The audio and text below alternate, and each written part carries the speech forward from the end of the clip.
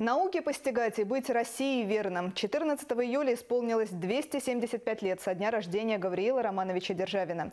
В честь памятной даты в Тамбове у памятника выдающемуся государственному деятелю и поэту организовали праздник. Державин провел на Тамбовщине неполные три года в качестве наместника. Но за это непродолжительное время были открыты народные училища, театр. Вышла одна из первых провинциальных газет. Гавриил Романович сделал многое для улучшения дорог и мечтал наладить судоходство на Цне. Почтить память поэта приехали гости из Санкт-Петербурга, Нижнего Новгорода и Татарстана, родина Державина. И самое главное, что здесь бережно относятся к памяти Гавриила Романовича Державина. И поэтому низкий поклон.